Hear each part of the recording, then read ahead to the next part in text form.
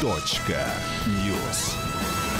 Всем привет, мы снова вместе. Вместе, куда слетаются все самые интересные новости из мира шоу-бизнеса. Точки зрения бывают разные, но ваше зрение направлено на точку News. С вами я, Константин Тарасюк. Поехали. Точка.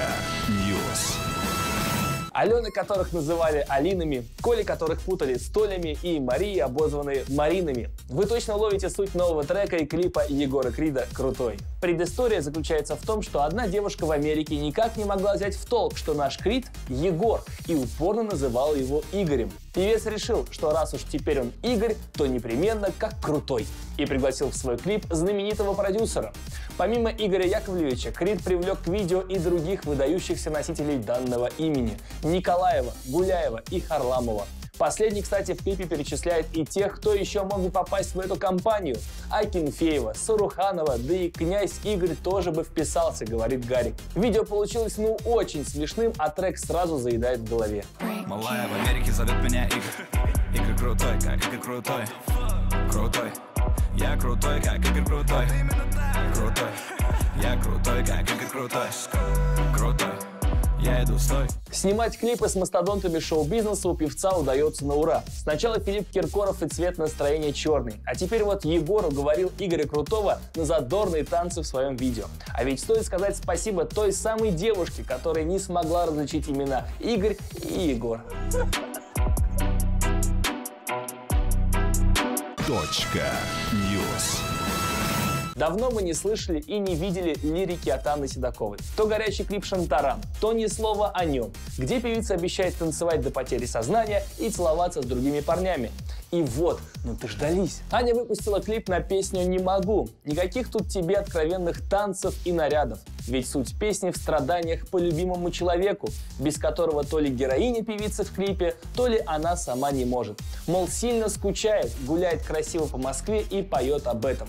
Судя по погоде видео, скучала Седокова во времена потеплее, чем сейчас. Нет ни снега, ни дождя. В такую непогоду, как сейчас, не особо ты попоешь и пострадаешь на улице. Тут уж как бы уши или еще чего не отморозить. Раз клип снят как минимум осенью, надеемся, что Анна больше не грустит. Осенняя хандра прошла, и от нее остались только эти красивые трек и видеоряд.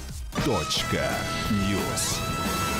Настоящая Рапунцель оказывается родом из Японии. Малышка Чанка появилась на свет с густыми черными волосами, которые растут не по дням, а по часам. Все девушки мечтают о красивых волосах еще с детства. Дамы используют массу способов, чтобы получить желанную объемную шевелюру.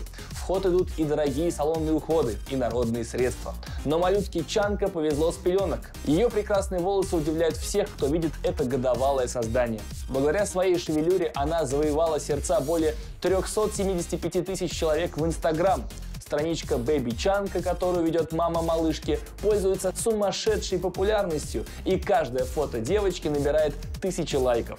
Сначала о выдающемся ребенке писали модные издания, затем маленькой обладательницей густой шевелюры заинтересовались и популярные бьюти-бренды. Японка Чанка в конце декабря 2018 года отметила свой первый день рождения. Вот растет себе девчушка и пока даже не представляет, что она уже звезда интернета, так что пока вроде не зазналась. News. Пит Дэвидсон и Ариана Гранде никак не оставят друг друга в покое. И речь идет не о взаимных любовных терзаниях, а об обоюдном троллинге. В ход пошли запрещенные приемы. Ариана Гранде, видимо, взяла пример с Анастасией Ивлеевой и озвучила своим подписчикам интимные параметры Пита. Дэвидсон, кажется, был польщен. Еще бы, ведь там не пресловутые 15, а целых 25 сантиметров. Парень не упустил случая высказаться на эту тему. Во время своего стендапа в Нью-Йорке Пит сказал, что певице все кажется огромным, а ведь она ростом 150 сантиметров. А вот это уже некрасиво. Обижать девочек, тем более миниатюрных, совсем не дело. Уже пять месяцев прошло с расставания этой парочки, они все не угомонятся. А как известно, дергать за косички значит любит. Может, Ариане и Питу просто пора сойтись и троллить друг друга тет-а-тет? Точка. News. Яйцо свело народ с ума. Кайли Дженнер не могла и предположить, что фото ее дочери, которое набрало 18 миллионов лайков, сможет переплюнуть не фото торца Криштиану Роналду, не даже публикация Ольги Бузовой, а простое куриное яйцо. 4 января пользователь под ником World Record Egg опубликовал пост и заявил, что хочет побить рекорд по лайкам. На снимке запечатлено обычное куриное яйцо. У аккаунта, где кроме фото яйца нет других публикаций, уже свыше трех миллионов человек. Яйцо не простое, но и не золотое. Зато с именем Юджином зовут. Кайли не смогла отнестись равнодушно к такому вызову и выложила целый пост, в котором пытается пожарить яичницу на асфальте.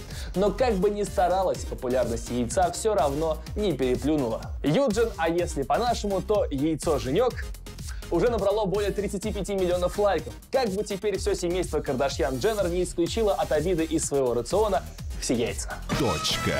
News.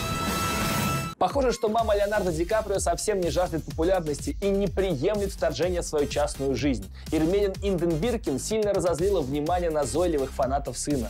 Совсем недавно попали под обстрел туристы, купившие экскурсионный тур по Лос-Анджелесу, проходящий по маршруту домов голливудских знаменитостей.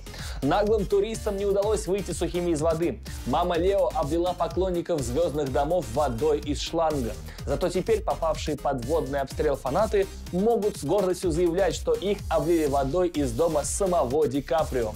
Мама актера заявляет, что люди могут оставаться поклонниками Ди Каприо и не приближаясь к его дому. Действительно, зачем приближаться к дому, когда мечта настоящего фаната приблизится к самому кумиру? Точка.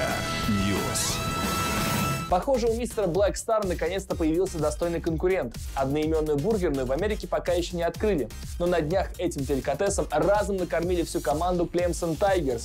Интересно, кто бы это мог быть? Дональд Трамп настолько вдохновился победой своей любимой команды на чемпионате по американскому футболу, что пригласил их в гости, а вместо праздничного шампанского с фейерверками устроил бургерный ужин при свечах. Фастфуд – это не диверсия против спортивной диеты атлетов, а настоящая американская еда. Во всяком случае, так считает сам Трамп. Да и ребята заслужили после хорошей игры знатную порцию калорий. Хорошая была бы диета. Есть бургеры только если ими угощает Дональд Трамп в Белом доме, а после шести и в других локациях. Не-не. Точка. News. Ну вот и все, это были все самые интересные новости из мира шоу-бизнеса. Хотите добавки? Тогда смотрите нас каждый день и находите в социальных сетях. С вами был я, Константин Тарасюк, и помните, со мной шоу-биз куда интереснее.